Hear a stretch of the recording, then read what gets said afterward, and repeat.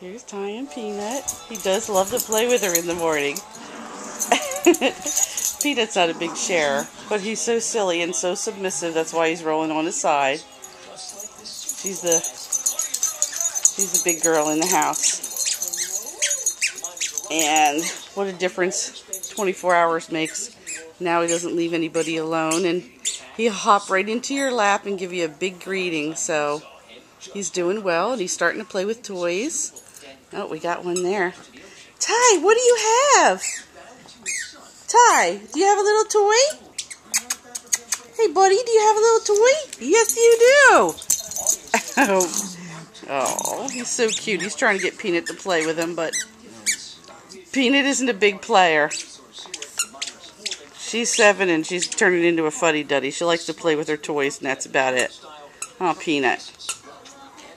What do you think, Ty? What is that? He seems to like the squeaky toys and the balls, but he's a good boy. He's so quiet in his crate. It's fabulous. And uh, he has a wellness appointment this morning, so he'll be microchipped and he'll be checked over. He's had all of his shots, and he looks great. He's a great weight, 15 pounds. He's not going to get any bigger.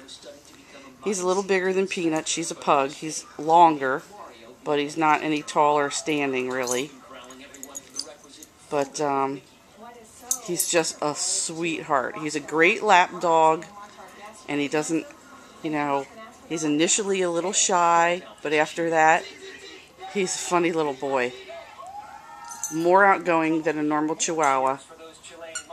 And he is very social with dogs. He loves to be with other animals.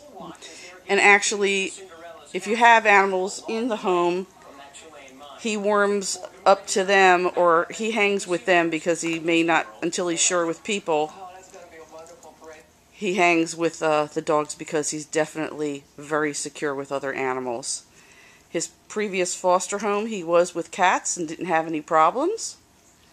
Um, and it would be sure nice to place him in a home with somebody that stays at home or even if you work, if you have another dog, that would be wonderful. He's good on the leash, so and he doesn't need a super lot of exercise, but he does like to walk. Um, so he can be leash walked. It's uh, does not have to have a physical fence, but he would have to be walked. So if you're interested in Ty, please put in an application. Huh, buddy? Ty? What do you think, big man. Huh?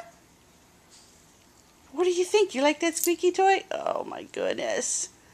Okay, must be time for more body body rubs or a nap because that's the other thing he does. He plays and then he naps most of the day.